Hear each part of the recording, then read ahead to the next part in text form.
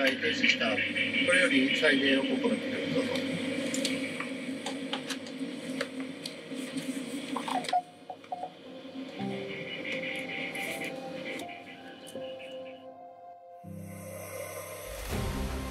With a history of more than 4 billion years, various phenomena have occurred in the deep sea, and many mysteries remain unclarified to this day.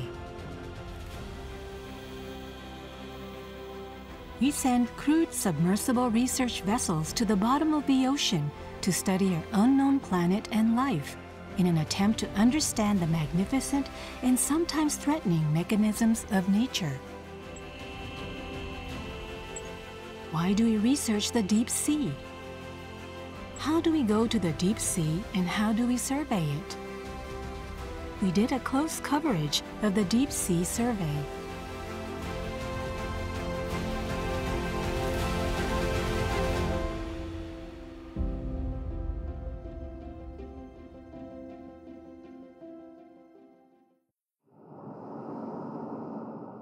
Under the bright sun, we see a large vessel advancing to the research point. The name of the vessel is the support vessel Yokosuka. This vessel is equipped with the crewed submersible research vehicle Shinkai 6500, a hangar for unmanned underwater vehicles, and a general control room to control drones to support the research. Moreover, it is a vessel that can carry out comprehensive surveys and research at sea, with a laboratory for surveying the seabed topography and examining collected samples. Engineers on board Yokosuka are conducting a final inspection for Shinkai for deep sea research. The Shinkai is a crewed submersible research vehicle that can carry people and dive to a depth of 6,500 meters. We contribute to the development of marine science and technology by researching the sites of massive earthquakes that threaten us and the key places to solve the mystery of the evolution of life. Meanwhile, pilots who are going to dive into the deep sea are in their final meeting.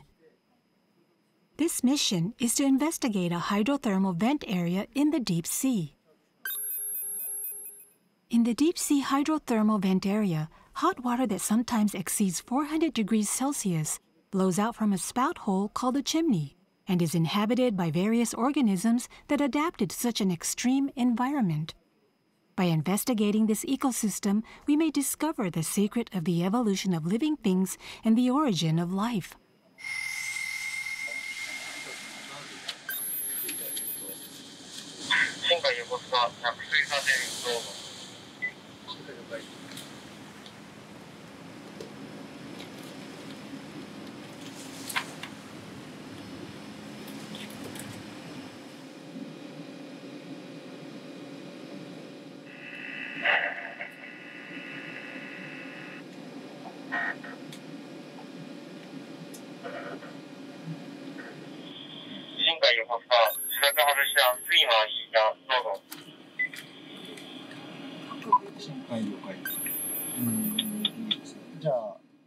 total of three passengers, including the researchers and pilot, are on board the Shinkai for research. Once the hatch is closed, the water pressure does not affect those on board, even at the bottom of the sea.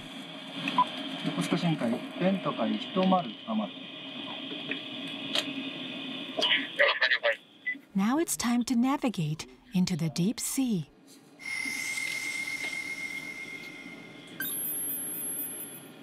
What is the structure of this small cockpit where three people carry out their activities? Since there is high water pressure in the deep sea, the cockpit of Shinkai has a round spherical structure and is protected by a thick titanium alloy. Due to its completely enclosed space, an oxygen tank supplies oxygen and absorbent material absorbs carbon dioxide. The water temperature in the deep sea is extremely cold, with an average temperature of 2 to 4 degrees Celsius. So even in midsummer, the cockpit being cold is one of its characteristics.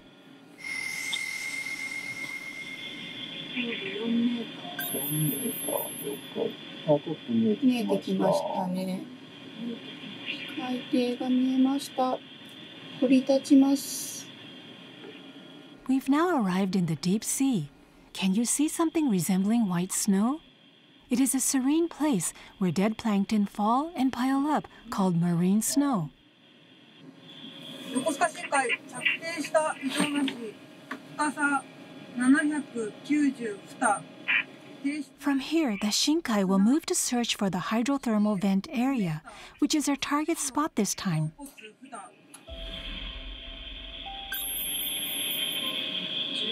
20分くらいに着く予定です。はい、了解です。こう建築物が多いんですね。た。結構ありますね。吹いてるところがあるんで、そういうのもあると思うんですけど。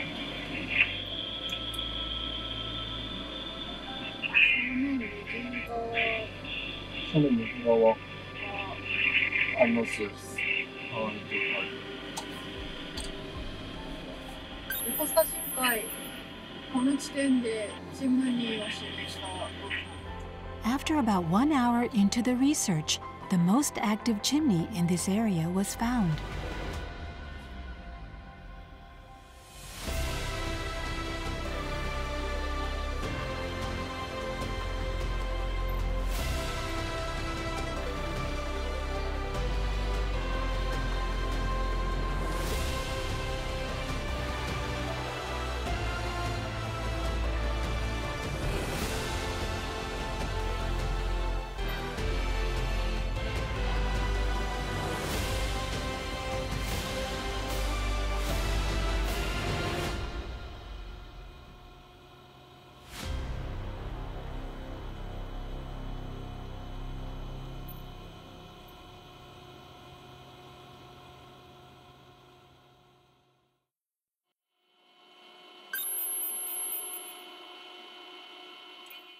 The full scale investigation begins here.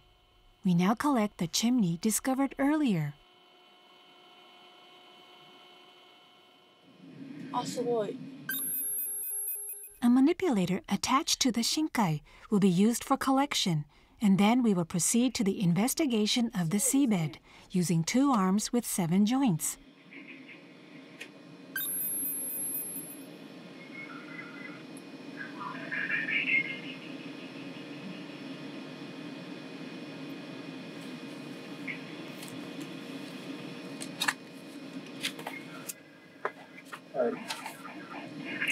しい。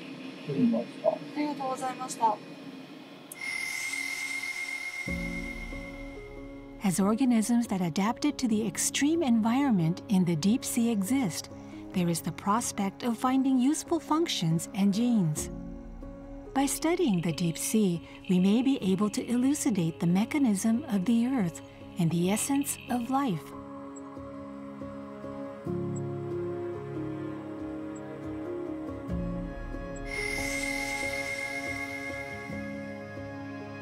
And sand in the deep sea can also be valuable samples.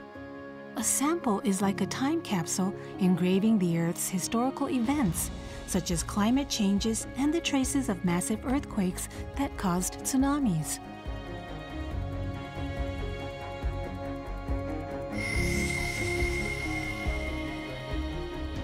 There are still so many mysteries and possibilities in the deep sea. We will continue to explore the deep sea to help develop the future.